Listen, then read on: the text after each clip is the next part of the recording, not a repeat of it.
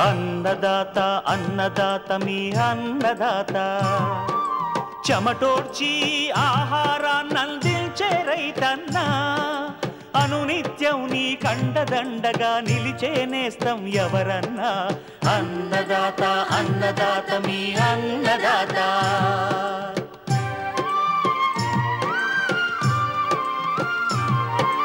నూతన రీతుల సాగుబడికి నూరింతలు పెరిగే దిగుబడికి సూచనలిచ్చే సస్య రక్షణకు పశు పోషణకి శాస్త్ర విజ్ఞానం అందించి ముందుకు నడిపే తెలుగు రైతు భారతదేశానికి మకుటం అయ్యేలా తీర్చిదిద్దే ఆశయంతో మిమ్ము మేలు కొలిపేది అన్నదాత. అన్నదాత అన్నదాత మీ అన్నదాత. అన్నదాత అన్నదాత మీ అన్నదాత.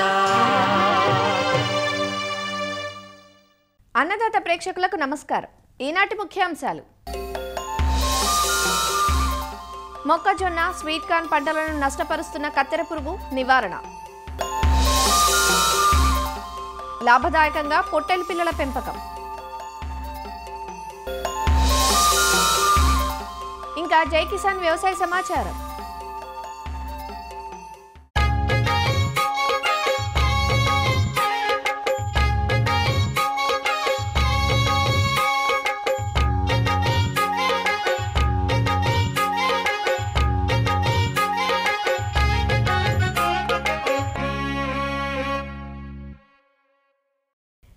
మధ్యకాలంలో మొక్కజొన్న రైతులను ఒకే ఒక్క చీడ కలవరపరుస్తోంది. అదే కత్తెర పురుగు. మొక్కజొన్నలో వచ్చే కాండం తొలుచు పురుగు ఇతర అన్ని చీడలను మర్చిపోయేలా చేసింది ఈ పురుగు. స్వీట్ కార్న్ పంటలోనైతే చాలా తేలిగ్గా పొత్తులను సైతం తొలిచివేస్తోంది. ఫాల్ ఆర్మీ వామ్ అని ఆంగ్లంలో పిలుస్తున్న ఈ పురుగు జొన్న మొక్కజొన్న జాతి పైర్లకు తీరని నష్టం చేస్తోంది. ఈ పురుగుకు కత్తెర వేయాలంటే విత్తన శుద్ధి మొదలు పైరు చివరి దశ వరకు సమగ్ర చర్యలే మార్గం. కత్తెర పురుగు నివారణకు చేపట్టాల్సిన సమగ్ర సస్యరక్షణ చర్యల గురించి రాజేంద్రనగర్లోని ప్రొఫెసర్ జయశంకర్ తెలంగాణ రాష్ట్ర వ్యవసాయ విశ్వవిద్యాలయం మొక్కజొన్న పరిశోధనా కేంద్రం ఎంటమాలజీ శాస్త్రవేత్త డాక్టర్ కె వాణిశ్రీ నుంచి తెలుసుకుందాం. జాతీయ అంతర్జాతీయ అవసరాల దృష్ట్యా మొక్కజొన్నకు మంచి మార్కెట్ ధర ఉండటం వలన రైతులు మొగ్గు చూపుతున్నప్పటికీ అనేక కారణాల వలన అధిక దిగుబడిని సాధించలేకపోతున్నారు. అందులో ముఖ్యమైనది కత్తెర పురుగు. కత్తెర పురుగుని ఎలా గుర్తించాలి? మరియు ఎలా నివారణ చేయాలో తెలుసుకొని అధిక దిగుబడులు సాధించవచ్చును.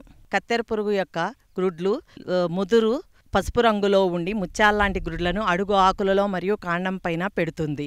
గ్రుడ్లు పొదిగిన రెండు మూడు రోజుల్లో పొదిగిన తర్వాత తొలిదశ లార్వాలు ఆకుపచ్చని దేహం కలిగి మరియు నల్లని తల కలిగి ఉంటాయి. ఎదిగిన లార్వాలు ముదురు గోధుమ రంగులో ఉండి వరుస చుక్కలు ఉండి తోక వైపు నుంచి ఎనిమిదవ కణుపు మీద నాలుగు వరుస చు- ర- నల్లని చుక్కలు దీర్ఘ చతురస్రాకారంలో ఉంటాయి. సో కత్తెర పురుగు ఎలా డ్యామేజ్ చేస్తుందంటే సో కత్తెర పురుగు తొలిదశ లార్వాలు ఆకులపై పత్రహరితాన్ని గీకి తినటం వలన తెల్లని పొల ఏర్పడుతుంది. సో రెండవ దశ మూడవ దశ లార్వాలు సో ఆకుల సుడులలో రంధ్రాలు చేసుకుంటా తిని విచ్చుకున్న ఆకులలో వరుస రంధ్రాలు కనిపిస్తాయి. ఎదిగిన లార్వాలు మొక్క సూళ్ళను పూర్తిగా కత్తిరించి వేస్తుంది. గొడ్డు మొక్కలు కూడా ఏర్పడతాయి. పసుపు పచ్చని ప- పురుగు విసర్జించిన గుళికల్ని ఆకు సుడులలో గమనించవచ్చును ఎదిగిన లార్వాలు వెలుపల నుంచి లోపలికి తినుకుంటూ వచ్చి ఈనలను మాత్రమే మిగులుస్తాయి. సో కత్తెర పురుగు ఎదిగిన లార్వాలు కంకి పొరలను తొలుచుకుంటూ రంధ్రాలు చేసుకుంటూ లోపల ఉన్న గింజలను తిని నష్టపరుస్తాయి. సమగ్ర సస్యరక్షణలో భాగంగా మొదటిగా సో విత్తన శుద్ధి చేయాలి. విత్తన శుద్ధికి సయాంట్రా నీలిప్రోల్ ప్లస్ థయోమిథాక్సామ్ కలిపిన మందు ఫాటెంజా డియోగా మార్కెట్లో దొరుకుతుంది. సో ఆరు మిల్లీ లీటర్లు కిలో విత్తనానికి కలిపి విత్తన శుద్ధి చేసుకోవటం వల్ల పదిహేను నుంచి ఇరవై రోజుల వరకు కత్తెర పురుగుని నివారించవచ్చును. తర్వాత కత్తెర పురుగుని నివారించటానికి మొట్టమొదట వేసవి లోతు దుక్కులు దున్నాలి. కోసస్థ దశ భూమిలో పెడుతుంది కనుక సో లోతు దుక్కులు చేయటం వల్ల సూర్యరశ్మికి పక్షుల బారిన పడి కత్తెర పురుగుని నివారించవచ్చును. మరలా పంట విత్తిన వారానికి నాలుగు లింగాకర్షక బుట్లను ఎకరానికి పెట్టడం వల్ల పురుగు ఉధృతిని గమనించవచ్చును. సో మొక్కజొన్నని సమయానికే విత్తుకోవాలి. విడతలుగా విత్తరాదు. ఆలస్యంగా విత్తిన మొక్కజొన్నని ఎక్కువగా కత్తెర పురుగు ఆశిస్తుంది. సో మొక్కజొన్నతో పాటు అంతర పంటలుగా పప్పు ధాన్యాలని సాగు చేయటం వలన కత్తెర పురుగు ఉద్ధృతి తగ్గుతుంది. సో జీవ నియంత్రణ పద్ధతులు. మెటారైజం ఎనైసోపోలి నోమరిలా రిలే అనేవి శిలీంధ్రాలు కత్తెర పురుగు లార్వాల్ని ఆశించి చంపుతాయి. అవి ఇవి మార్కెట్లో పొడి రూపంలో లభ్యమవుతున్నాయి. కత్తెర పురుగు నివారించడానికి మెటారైజం మేనైసోపులి ఐదు గ్రాములు లీటర్ నీటికి కలిపి ప- పిచికారీ చేయాలి. అలాగే గుడ్డు పరాన్న జీవులైన ట్రైకోగ్రామా ప్రీటియోజం టెలినోమస్ రీమా ఎకరానికి యాభై వేలు చొప్పున ఏడు నుంచి పది రోజుల వ్యవధిలో నాలుగు సార్లు విడుదల చేసి కత్తెర పురుగుని అదుపులో ఉంచవచ్చును. సో క్రిమి సంహారక మందులను పిచికారి చేసి కూడా కత్తెర పురుగుని అదుపులో ఉంచాలి. ముప్పై రోజుల వరకు కత్తెర పురుగును అదుపులో ఉంచటానికి కత్తెర పురుగు గుడ్లు కానీ మొదటి దశ లార్వాలు కానీ కనిపించినచో వేప సంబంధిత మందైన అజాడిరక్తిన్ ఫిఫ్టీన్ హండ్రెడ్ పీపీఎం ఐదు మిల్లీ లీటర్లు లీటర్ నీటికి కలిపి పిచికారి చేయాలి. మొదటి దశ లార్వాలు గమనించినచో బ్యాక్టీరియా సంబంధిత ఫార్ములేషన్ బీటీ రెండు గ్రాములు లీటర్ నీటికి కలిపి పిచికారీ చేయాలి. పంట గనక ముప్పై ఒకటి నుంచి అరవై ఐదు రోజుల దశలో గనక ఉంటే సో మొదటి దశను రెండో దశ లార్వాలు కనిపించిన వెంటనే so chlorantraniliprole zero point నాలుగు మిల్లీ లీటర్లు లీటర్ నీటికి కలిపి పిచికారీ చేయాలి. లేదా స్పైనటోరం జీరో పాయింట్ ఐదు మిల్లీ లీటర్లు లీటర్ నీటికి కలిపి పిచికారీ చేయాలి. సో ముఖ్య గమనిక ఏమిటంటే మందు పడేటట్లు మొక్క సుడులు తడిచేటట్లు మాత్రమే పిచికారీ చేయాలి. ఎదిగిన లార్వాల నివారణకు విషపు ఎరను తయారు చేసి సాయంత్రం వేళలో మొక్క సుడుల్లో పడే విధంగా వేయాలి. రెండు కిలోల బెల్లం రెండు మూడు లీటర్ల నీటిలో కరిగించి దానికి పది కిలోల తవుడును కలిపి ఇరవై నాలుగు గంటలు పులియబెట్టి పొలంలో అప్లై చేసే ముందు వంద గ్రాముల థయోడి కార్బన్ కలిపి ఉండలుగా చేసి పొలంలో మొక్క సుడిలో పడే విధంగా వేయాలి.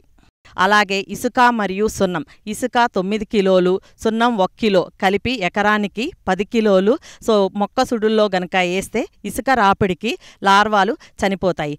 పంట అరవై ఐదు రోజుల దశ నుంచి కత్తెర పురుగు వలన ఎక్కువ ఆర్థిక నష్టపరిమితి ఉండవు కాబట్టి సరే ఏమైనా పురుగు మందులు సరిగా పనిచేయవు కాబట్టి మనుషుల చేత ఏరించి కిరోసిన్ డబ్బాలో వేసి చంపివేయాలి. సో ఇలా కత్తెర పురుగుని సకాలంలో గుర్తించి సస్యరక్షణ చర్యలు చేపట్టడం ద్వారా థర్టీ పర్సెంట్ దాకా అధిక దిగుబడులు పొందే అవకాశం ఉంది. అందరూ సరైన సమయంలో సస్యరక్షణ చర్యలు పాటించాలని రైతులను కోరుచున్నాను.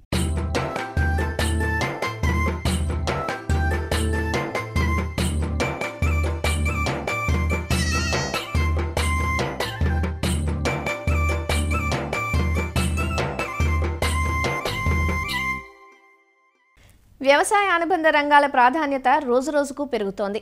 నానాటికి మాంసానికి పెరుగుతున్న గిరాకీ నేపథ్యంలో పొట్టేలు పిల్లల పెంపకం నేడు ఎందరికో ఉపాధి మార్గంగా నిలుస్తోంది. పాలు మరిచిన పిల్లలను తెచ్చి కొంతకాలం మేపిన తర్వాత అమ్మకం చేయటం ద్వారా లాభాలను ఆర్జిస్తున్నారు. అయితే పెంపకం లాభసాటిగా సాగాలంటే తక్కువ ఖర్చుతో పోషణ శాస్త్రీయంగా సాగాలి.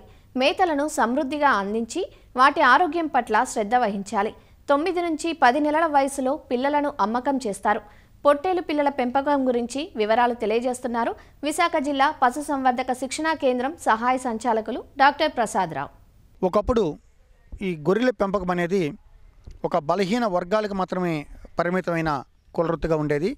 కానీ ఇటీవల కాలంలో ఈ గొర్రె మాంసానికి విపరీతమైన ధర పలకటం డిమాండ్ ఉండడం మూలంగా చాలామంది పొట్టేలు పిల్లల పెంపకం వైపు ఆసక్తి చూపిస్తున్నారు.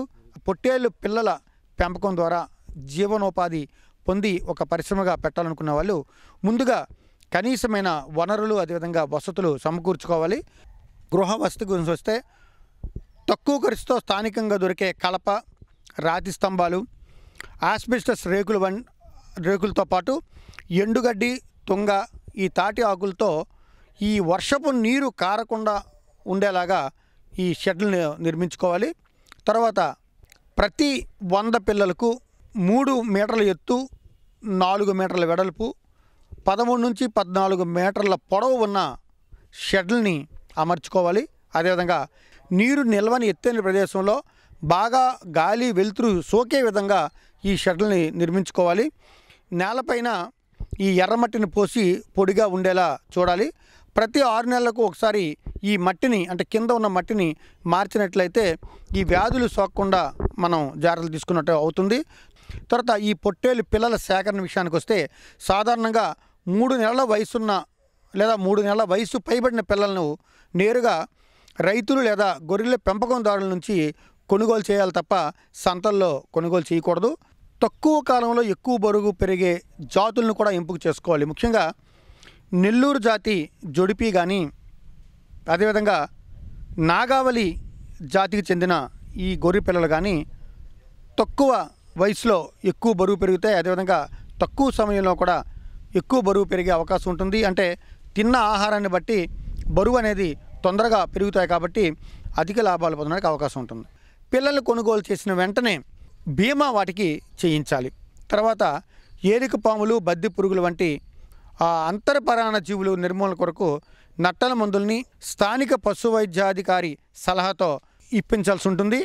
అదేవిధంగా బాహ్య పరాణుజీవులైన పేలు పిడుదులు అదేవిధంగా గోమర్ల నుంచి రక్షించడానికి ప్రతి లీటర్ నీటిలో మూడు నుంచి నాలుగు ఎంఎల్ ఈ బ్యూటాక్స్ వంటి ద్రావణాన్ని లేదా మెలాథియన్ ద్రావణాన్ని కలిపి ఈ గొర్రెల పైన అదేవిధంగా షెడ్డు ఆ పరిసర ప్రాంతాల్లో కూడా పిచికారీ చేసినట్లయితే ఈ బాహ్య ప్రాణ జీవులు నిర్మూలించి గొర్రె పిల్లల్ని సక్రమంగా పెరగడానికి అవకాశం ఇచ్చినట్టు ఉంటుంది. అదేవిధంగా గొర్రెల వయసు బట్టి సీజన్ బట్టి చిటుకు వ్యాధి పారుడు వ్యాధి నీలి నాలుక వ్యాధి అదేవిధంగా గొర్రెల మచూచి వ్యాధి నివారణ కొరకు టీకాల్ని క్రమం తప్పకుండా ఇప్పించాలి.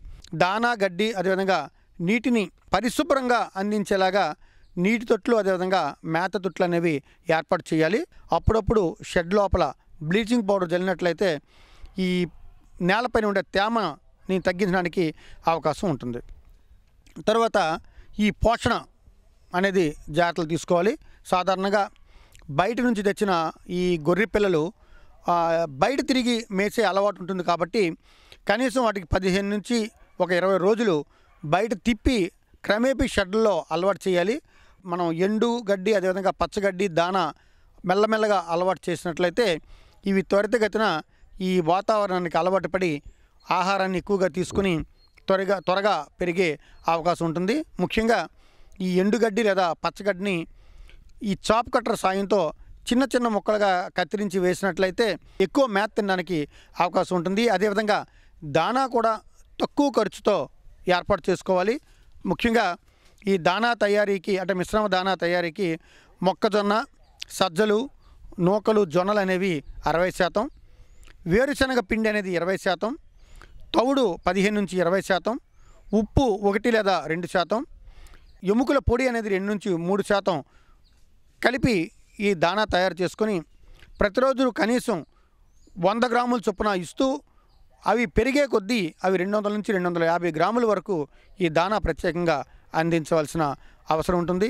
తర్వాత పశుగ్రాసం గురించి వచ్చినట్లయితే ఈ పశుగ్రాసంలో మొక్కజొన్న జొన్న కోత్రి అదేవిధంగా సూపర్ నాపియరు తర్వాత పప్పు జాతి పశుగ్రాసాలైన పిల్లి పెసర బొబ్బర్లు తర్వాత ఉలవగడ్డి తర్వాత స్టైలో హెమట అందించినట్లయితే వీటిలో ఉన్న మాంసకృతుల మూలంగా తక్కువ సమయంలో ఎక్కువ బరువు పెరుగుతాయి. తర్వాత షెడ్డులో ఎప్పుడు కూడా ఉప్పు గడ్డలు లేదా లవణ మిశ్రమ ఇటుకల్ని ఈ పిల్లలకు అందుబాటులో ఉంచుకున్నట్లయితే ఈ లవణ ఈ ఖనిజ లవణ గడ్డల్ని ఇవి నాకడం వల్ల వీటిల్లో లవణాలు లేదా విటమిన్ల లోపాలు రాకుండా ఉంటాయి. లేనట్లయితే మట్టి లేదా ఈ కింద ఉన్న ఈ ఇటుకలు వంటి వాటిని నాకడం మూలంగా వీటిల్లో రక్తహీనత వచ్చి ఇబ్బందులు పడే అవకాశం ఉంటుంది కాబట్టి షెడ్లో షెడ్లో ఎల్లప్పుడూ కూడా ఈ ఉప్పు గడ్డు లేదా లవణ మిశ్రమ ఇటుకల్ని పిల్లలకు అందుబాటులో ఉంచాలి. తర్వాత పుష్కలంగా పచ్చిమేత అందించినట్లయితే పిల్లల్లో ఎదుగుల రేట్ అనేది రోజుకు ఎనభై నుంచి వంద గ్రాములు ఉండి తొమ్మిది నెలల్లో మార్కెట్ బరువు అంటే ఇరవై రెండు నుంచి ఇరవై ఐదు కిలోల బరువు పెరిగి అధిక లాభాలు ఆర్జించడానికి అవకాశం ఉంటుంది కాబట్టి ఈ యాజమాన్య పద్ధతుల్ని చక్కగా అర్థం చేసుకుని ఈ యూనిట్ని ప్రారంభించినట్లయితే అధిక లాభాలు పొందడానికి అవకాశం ఉంటుంది.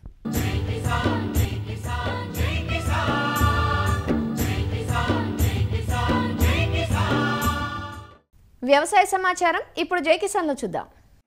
నాగర్ కర్నూలు జిల్లాలో పత్తి రైతులు ఈ ఏడాది అధిక సాంద్ర విధానంలో పంట సాగు చేశారు. కేవీకే అధికారుల సూచనలు సలహాలతో ఈ వానాకాలంలో పత్తిని అధిక సాంద్ర విధానంలో సాగు చేశామని దిగుబడులు ఆశాజనకంగా ఉన్నాయంటూ రైతులు చెబుతున్నారు.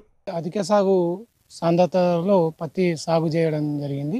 సాలుకు సాలు ఎనభై ఐదు సెంటీమీటర్లు చెట్టుకు చెట్టు పది సెంటీమీటర్లు. దిగుబడి చాలా బాగా వచ్చింది నేను ఎనిమిది ఎకరాలు వేసినాను.